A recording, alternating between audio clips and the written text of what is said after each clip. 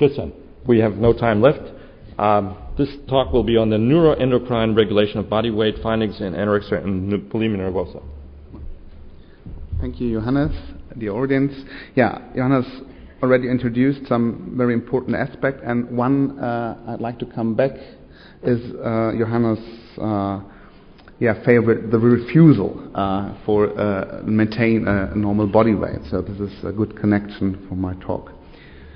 Uh, the, well, the the neuroendocrine regulation of body weight, as Johannes told, has made uh, well a, a huge uh, um, progress in the last 10 years because of uh, the research to find some uh, pharmacological interventions for obesity. And the well the, the knowledge uh, which we have in eating disorders come is coming from the obesity research which is much more yeah there are much more studies, and we uh, have very few studies in the eating disorders. Um, uh, but it is growing steadily, and um, so I'd like to, well, uh, present you the, from my, from my, point of view, most important data we have so far. But to start uh, with is, I'd like to, well, show you uh, an overview again of uh, eating disorder symptoms, which for those who are familiar with eating disorders are no surprise, and you, well, you just go through. Eating disorders patients are preoccupied with food. They are hungry, although they do not like to talk about that. Uh, they have very peculiar eating habits. They show signs of depression. They are socially withdrawn. They have a lot of ambition, libido, initi- initiative. They are often rigid. They are unflexible in their thinking. And they're nervous and often very restless. And now you, well, we are, we are very uh, familiar with eating disorders, and you know there are some important symptoms missing. Uh, and you're right. The, well, the the, the, the, the symptoms which um, are missing are uh, very important ones, uh, and these are the yeah the body the the the, the, the, um, the fear of gaining weight, the the weight phobia, the the, the disturbances in, in body scheme, and this was just a trick to, well, bring you to what I would like to talk about. These are observations and, and behaviors that have got nothing to do with eating disorders. These are yeah, behaviors that were seen uh, in men, in completely healthy men who have lost uh, about 15 20 percent in a, in a hunger, in a starvation experiment, which was done uh, after World War II in the United States by Keys and colleagues, who wanted to test or wanted to know about the effects of starvation in humans. And this is what they found. So the point is that uh, although, uh, well, I have think uh, uh, at, the, at, the, first uh, you, you, you would agree that these are symptoms of eating disorders, but you, we have to know that starvation-induced psychological and physiological alterations cover a substantial part of eating disorder psychopathology. This is to have in mind for my talk.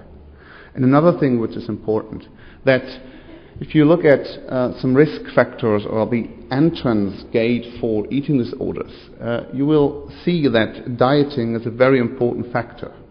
This is a very old but very famous study uh, by Patton, and they show that uh, that so the, what, what, have they done? They have performed a prospective survey in 15 year olds, and they look, okay, uh, do is an adolescent dieting at the moment, or is it not dieting, and then they follow up this group for one year, and they could nicely show that dieting yeah, was an extremely early risk factor to, for developing an eating disorder. Uh, an eating disorder.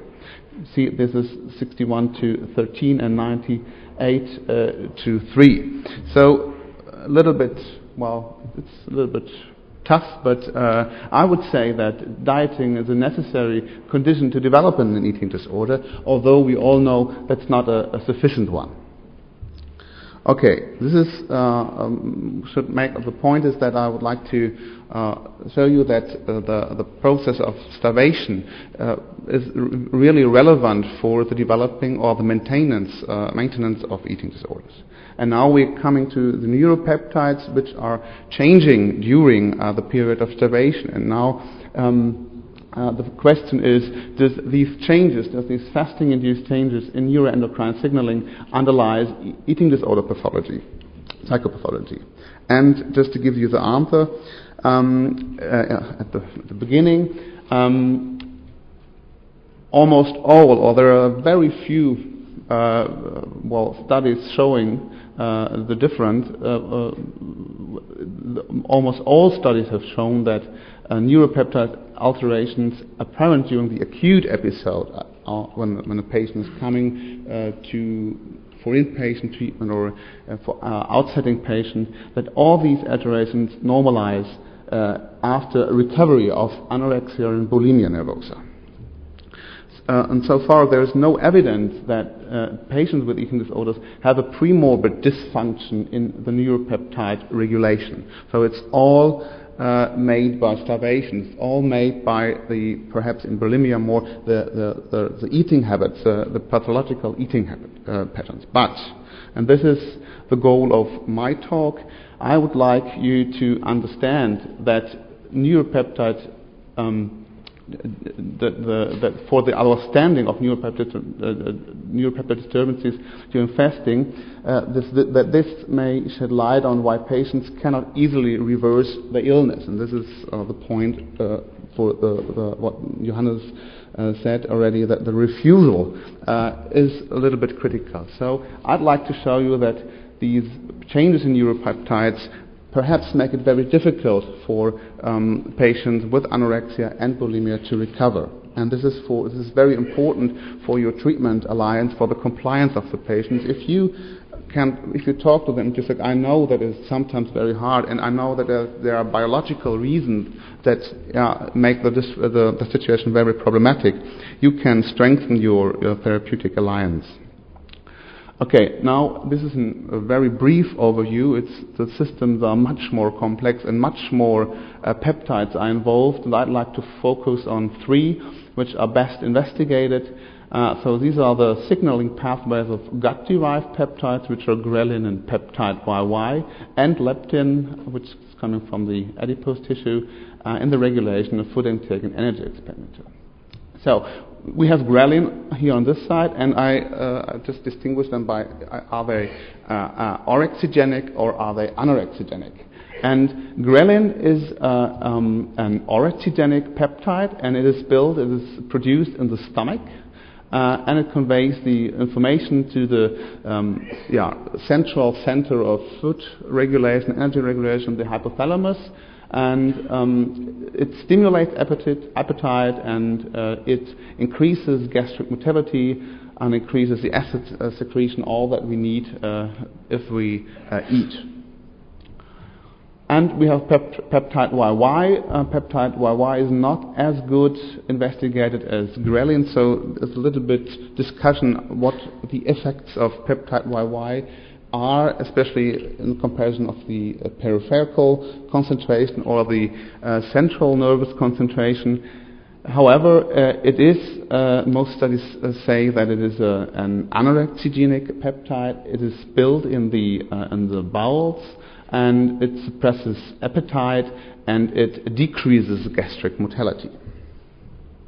And here we have leptin. Leptin is the well, best investigated peptide so far from the three, and we have done some, uh, or most of our own studies uh, uh, on leptin.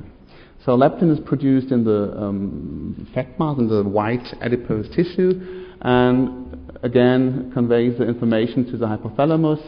Uh, and in, in, in, states of steady weight, the, the leptin concentration in the serum uh, is very is highly correlated with the amount of fat mass and the BMI. And so you can take the blood and measure leptin, and you know about the, the, the amount of fat mass and BMI. You want to do it.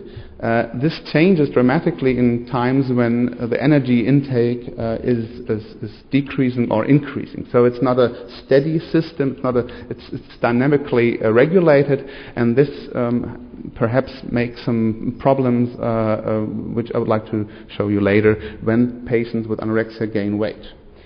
So it's, it's, uh, leptin has got a lot of other uh, um, effects, uh, um, not only in food intake and energy expenditure, but on uh, more than yeah, well, 10 or 15 uh, effects that uh, and more and more are coming. Uh, one very important is the, uh, the, are, is the effect on the hypothalamus pituitary gonadal axis, and leptin, just to say it briefly, is the gate for the restoration of, of, of, menses in anorexia. So the leptin has to increase up to a certain threshold uh, um, until then the, the menstruation set in again. And so, and if it's not reached the threshold, nothing happens. If the re- threshold is reached, then some other uh, um, factors have to, uh, well, intervene and ha- have to be there. Perhaps uh, uh the, the time uh, and, and fat mass, then the menstruation comes back. But leptin is the gate. if leptin is not increased, no menstruation will take place. Okay.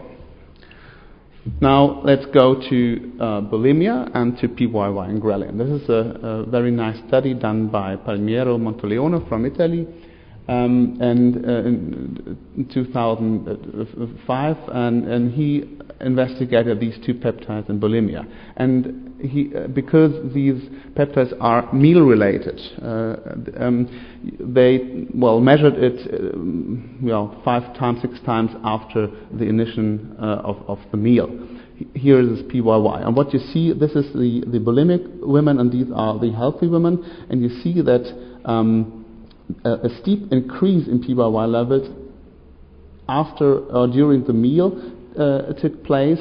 Um, this sounds logically because uh, uh, PYY is anorexigenic and it is uh, suggested that this increase uh, induced meal termination. And uh, nicely fit with the well the pathological habits of, of bulimic eating, there is no increase and no termination of eating. Uh, well, is inducted. So this fits very nice uh, with the um, clinic. And just the opposite, the, the ghrelin, which is orexigenic, so we have a higher level, and if we eat, yeah, these, these uh, ghrelin concentration drop down, uh, well, that makes sense again because uh, the decrease is uh, thought to uh, induce a meal termination. Uh, so increase here, decrease here, and you see the, the, the same problem in the bulimic person, uh, no drop, no decrease in the orexigenic signaling. So these two um, peptides, um, the, the, the abnormal pattern of secretion um, after a meal well, you could think if you combine these two, well, uh, uh, effects which are, should be there in, in, in healthy people, that this should be, uh, could be a maintaining condition because of a decreased satiety response, which promotes prolonged eating at uh, binges. However, um, it's not that simple because uh, we don't know if it's not an adaptive mechanism that took place and which is make sense in a physiological, uh, um, uh, way. Uh, then it could be that um, that these well secretion patterns uh, could be an aim to counteract disturbance gastric emptying, which yeah, is increased and uh, normalized. So we are not sure about uh, what is uh, uh the, the effect uh, actually. However, uh, one is a little bit suspicious that this could be, even if this is the aim physiologically, could be a side effect and make it difficult for bulimic patients to give up their binge habits. Okay, now coming to anorexia nervosa, and there are very, very few studies on, on, on, uh, on PYY in anorexia nervosa.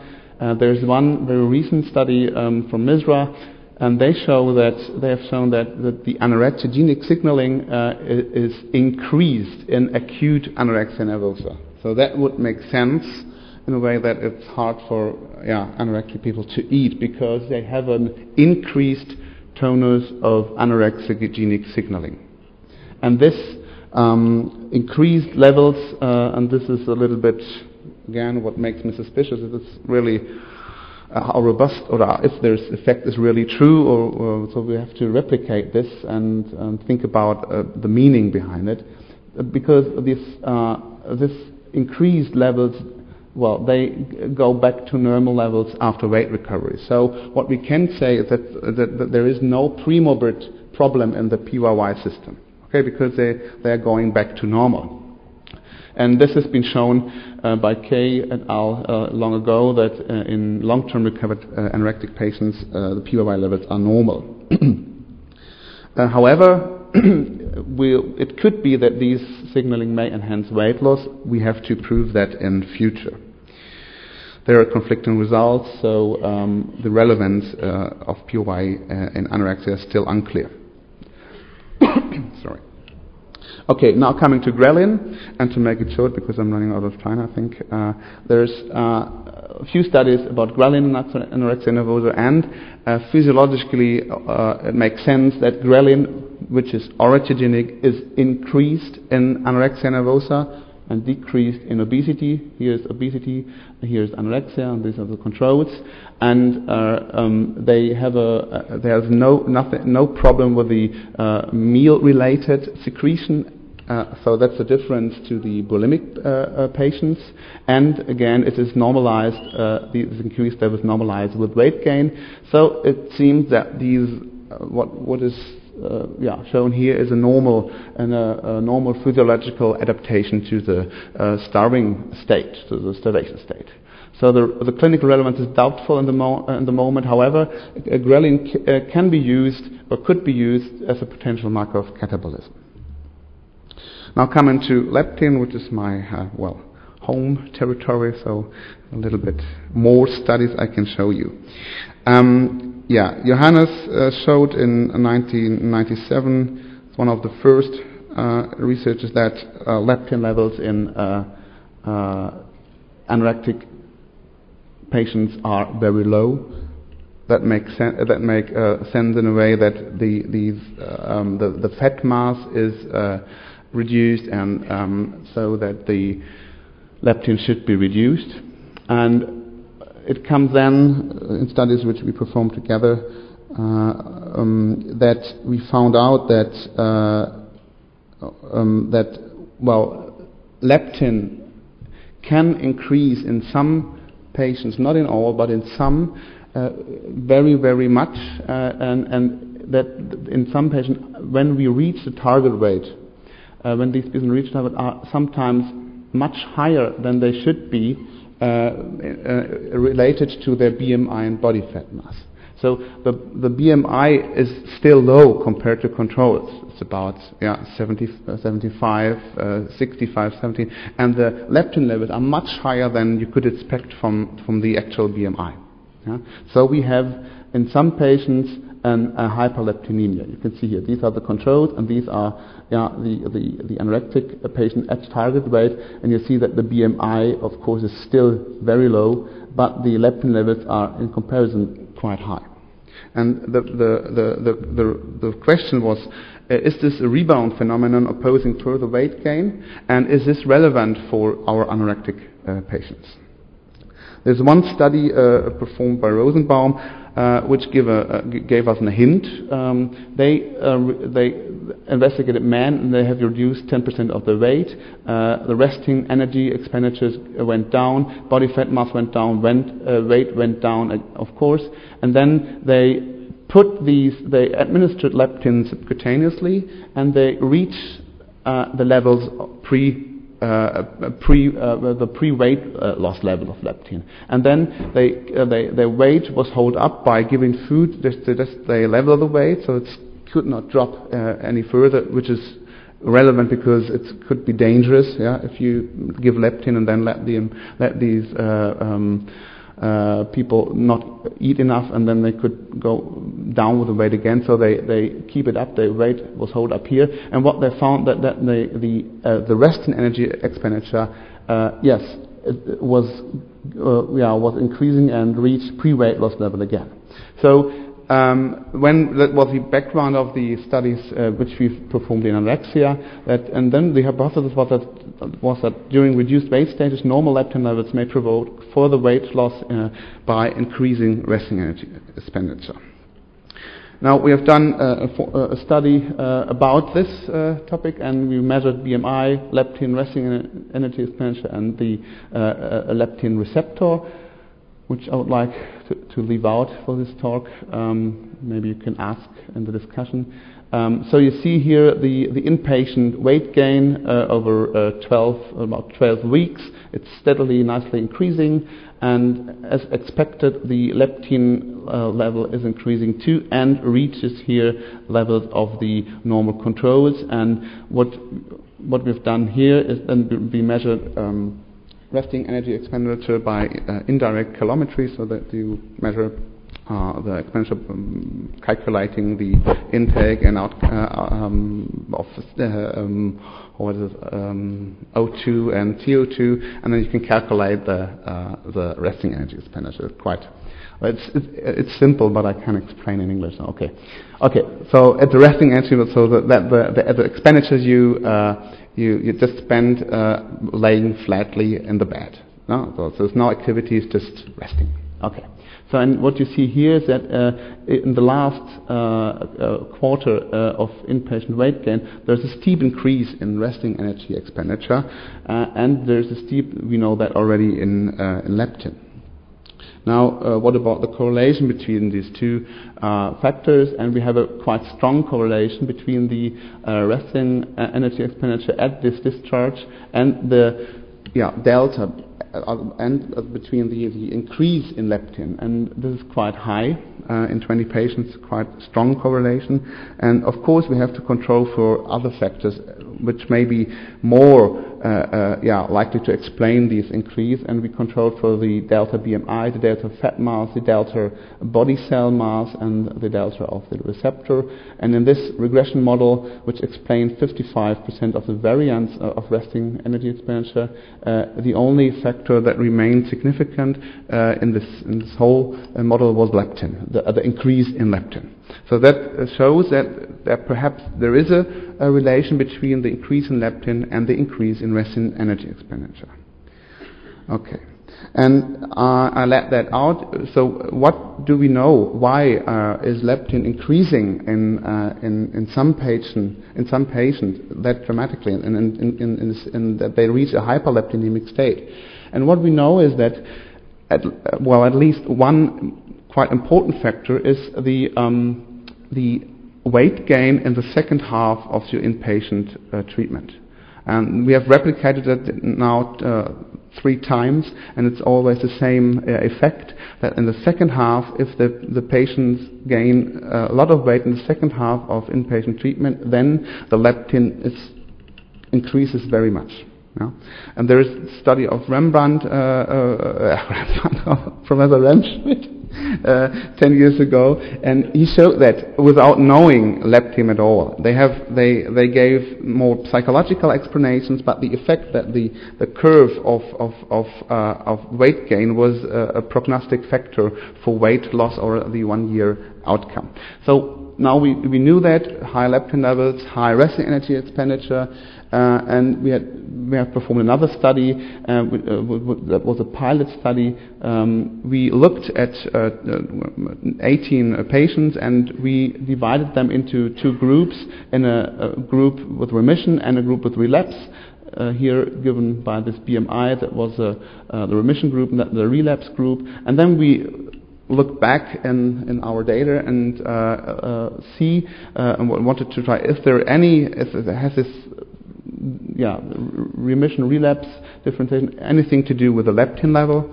And there was quite a strong relationship that the, uh, these, the relapse group had much higher leptin levels than the uh, remission group, and that these leptin levels were significantly higher than the normal weight controls, which had a BMI about 22. Or 20, so much higher than uh, the, uh, the, the group um, at, at discharge, which were here about 17. Uh, and here again, uh, in this uh, study, that the the the uh, increase here in BMI in the second half of inpatient was a predictive increase here in leptin. So this shows that uh, perhaps the, the, the leptin at discharge is a good indicator for some problems uh, after discharge. So the, the point is that we, uh, and that is uh, relevant I think to say, we have a quite sophisticated program where we give a lot of support for eating. We control it, we, we make uh, contracts yeah, in, a, in a very intensive way in inpatient treatment. And the problem is that we discharge this patient exactly in the moment where uh, the leptin, where the biological system is yeah, just counteracting our weight gain. And then we said, okay, we have reached the target weight, and then you can go leave the intensive treatment setting, and you have to take care of yourself in the outpatient setting. Perhaps this is more relevant than the leptin itself, or just to uh, make it, uh, well, uh, I want, don't want to say that, that, that now we have found the, the reason for relapses, and it's leptin. No, so it's not this case. But the, the, the, the higher leptin levels in combination with the discharge from an intensive treatment setting may be a problem. Okay, I've said that already. Um, this has been replicated, and I'm very glad that it has, uh, because it was a very uh, small group uh, by Haas uh, et al. from Germany, and they show the same effect that the delta leptin between uh, these days uh, and the first time and the BMI gain in the in the following time there was a, a, negative correlation. Okay, so that is quite good replicated in one study. Okay, so um, let's summarize this. Um, yeah, the, the, the, pronounced weight gain in the second uh, in the second half, or is this wrong? Inpatient uh, refeeding accounts for supranormal leptin levels uh, at the achievement of target weight, and patients with highest increase in leptin levels have the highest values of resting energy expenditure, and that perhaps this leptin-induced increases in uh, REE at discharge from inpatient treatment may be a risk factor for early relapse. And clinically, that would, it would make sense that, uh, mod, that the moderate weight uh, gain in the second half perhaps could reduce this effect, or that you perhaps think about um, um, uh, uh, uh inpatient treatment, which um, is perhaps where you make a break with the weight gain, perhaps discharge the patients for a time to to day treatment, and then start again with with, with weight gain if you have a patient with a high leptin increase. Uh, so we, we, we're trying to do that. The problem is that we don't have good reference value, uh, values uh, for leptin. So you have to, to well, you, you have to s- sort out what is a high leptin level for a patient. And because you don't have pre-morbid leptin levels, it's really hard to say uh, is this because the intra-individual um, variance is quite high in leptin. So it's very hard to say this is one yeah, uh, with a high leptin level. Okay, but this could be uh, future uh, aims to uh, deal with it. So, um, what time? I don't.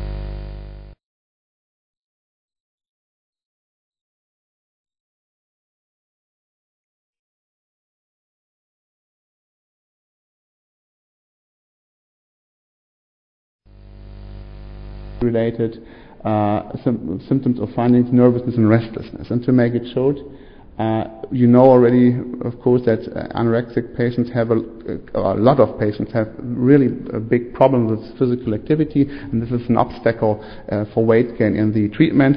And then this study was performed in Marburg um, in Germany, and it showed that the, the semi-starvation-induced hyperactivity, which rats, rat, rats develop when they are in food restriction and have a running wheel excess, they run to death which is paradox, but they do it because they should, uh, well, sit still in in a corner and and and and uh, yeah, well, not. Uh, well, lose much ener- energy by physical activity, but they do just the opposite. And if you give these rats running, running, running in their running wheel uh, leptin, they, they stop quite immediately and reduces their activity level to baseline level. So this is a, a model which was often used to explain uh, the, uh, the, the high, um, yeah, sometimes very excessive exercise in in uh, anorectic persons uh, patients. And what we have done, just to make it short, we looked at a lot, uh,